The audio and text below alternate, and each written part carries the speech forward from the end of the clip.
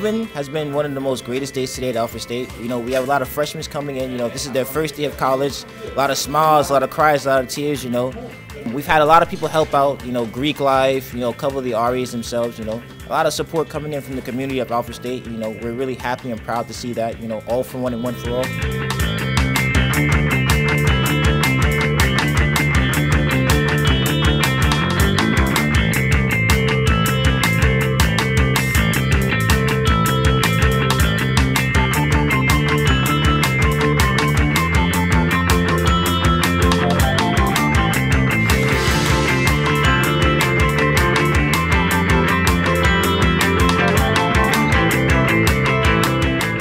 We're super excited to be moving our new freshmen in this semester. Excited to see what this semester has to bring for us and ready to kill it.